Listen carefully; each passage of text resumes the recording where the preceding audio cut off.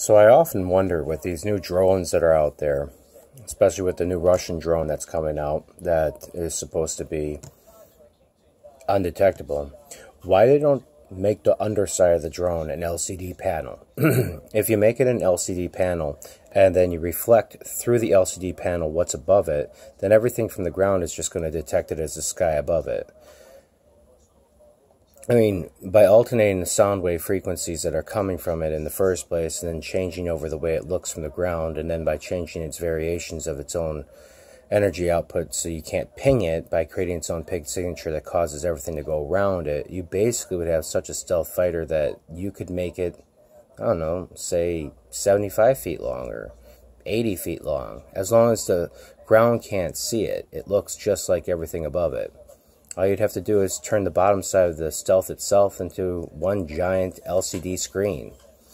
And then do a future view 360 cam on top and take that view from the camera and put it to the underside and you wouldn't even know it's there. And plus if you use hydrofoil technology that enabled it to use its own gases on the inside of the drone itself so that way its buoyancy was based on what was going on inside of the drone instead of thrusting the drone, you would have a wonderful operative machine that would be able to go into areas where nobody would be able to detect you. And for scouting missions, mapping, blueprinting, or following complex regimes that are moving around, it would be ideal. Plus, on top of it, there'd be no signature. So, what would you hit? I mean, what would you fire at? Blue sky? It's really hard to hit blue sky. It's everywhere. Anyways, sounds like a fun new project for the prototype. It's amazing though. United States of America for the last 15 years has been so far behind the, the times and the trends of what's going on with military warfare.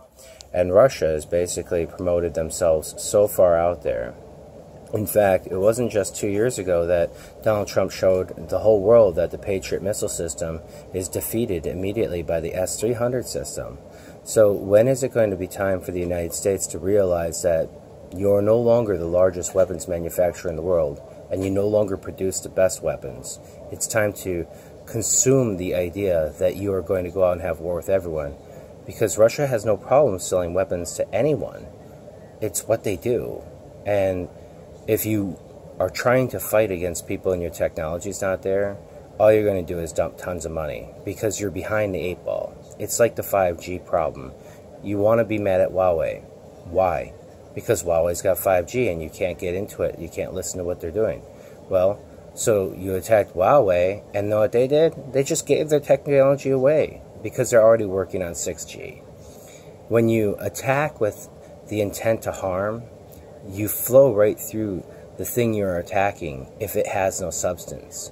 If you are the only thing that is a weapon then nothing else around you is a target. You are your own target, your own worst enemy. Think about it. Do you want to hurt yourself or do you want to help the world?